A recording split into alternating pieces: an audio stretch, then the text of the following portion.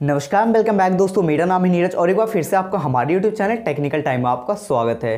तो दोस्तों, आज की वीडियो काफ़ी ज़्यादा खास होने वाली है क्योंकि गाइस मैंने कम्युनिटी में एक पोस्ट डाली थी जिसमें मैंने लिखा था hash tag ask technical time और उसमें मैंने बोला था कि आप अपने क्वेश्चन आंसर कर सकते हैं। इसमें आप कोई सा भी क्वेश्चन पूछ सकते हैं, जिसका आंसर जो मैं क्यू एन ए वीडियो बना के देने वाला हूँ। तो गाइस आज की इस वीडियो में हम बात करने वाले हैं उसी क्यू एन ए यानी उसी क्वेश्चन आंसर के ऊपर। और आज मैं जवाब दूँगा आपके उस सारे सवालों के जो आपने मेरे से कम्युनिटी पोस्ट में पूछा था।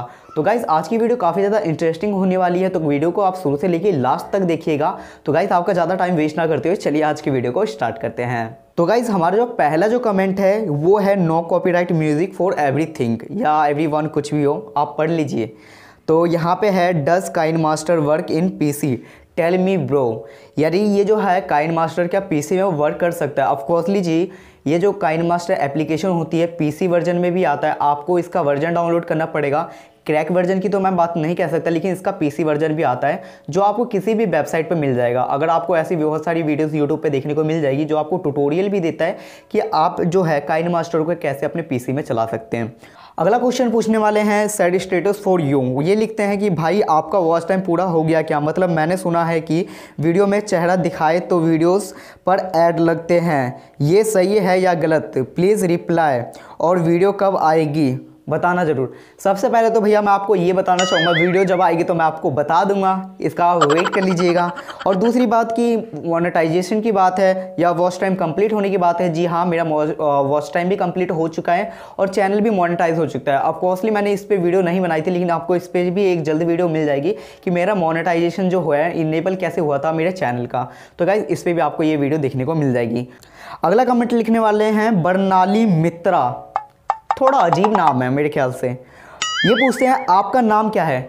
तो इनके लिए मैं कहना चाहूँगा शायद मेरा नाम जो है मैंने पिछली वीडियो में बताया था अगर आपने वो वीडियो नहीं देखी तो आप उस वीडियो को जाके देख लीजिए किसी ना किसी वीडियो में आपको देखने को मिल जाएगा कि मेरा नाम क्या है। अगर आपको पता है तो आप कमेंट सेक्शन में ज़रूर बताइएगा। ये लिखते हैं भाई आप कहाँ रहते हो? फ़िलहाल तो मैं अपने पर्सनल रूम घर पर हूँ और मैं दिल्ली में रहता हूँ और अगर बिलम की बात की जाए तो मैं बिहार से बिलम करता हूँ। यहाँ पर लिखते हैं आपकी एज कितनी है? तो भैया, मैं अपनी एज अगर बताना चाहूँ तो मैं 19 ईयर ओल्ड का हूँ। वैसे तो मैं स्टूडेंट हूँ, उसके बाद में मैं यूट्यूब भी करता हूँ। और यहाँ पे लिखते हैं, आपकी हाइट कितनी है? तो भैया, मैंने कभी नापी नहीं है, मेरी हाइट पहले नापी थी तो मैं पाँच फुट दो इंच का था। अभी का पता नहीं मैं कितना बढ़ा हूँ, कितना घटा हूँ। और लिखते हैं, आपका वेट कितना है? भैया, अड़तालीस के का था। आपने ये क्वेश्चन पूछा ना तो मैं फोर्टी फाइव के का हो गया।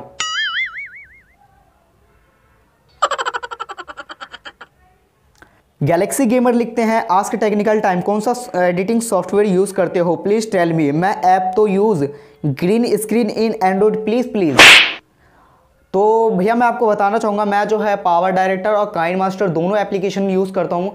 पावर डायरेक्टर मैं यूज़ करता हूँ वीडियो को स्मूथली कट करने के लिए और जो काइन मास्टर है, ये बेस्ट एप्लीकेशन है। फ़िलहाल यूट्यूबर के लिए, अगर आपके पास पीसी नहीं है या लैपटॉप नहीं है तो आपके लिए बेस्ट एप्लीकेशन है काइन मास्टर जिसमें आप ग्रीन स्क्रीन का यूज़ भी कर सकते हो। तो मैं जो अपना ग्रीन स्क्रीन का जो इफ़ेक्ट जोड़ता हूँ, जो बी मोड होता है, वो गाइज़ मैं इसी से जोड़ता हूँ काइन मास्टर एप्लीकेशन से। हाल फ़िलहाल में तो मैं ब्लैक पर्दे पर शूट करता हूँ, जो मेरा टिकटॉक का पर्दा है।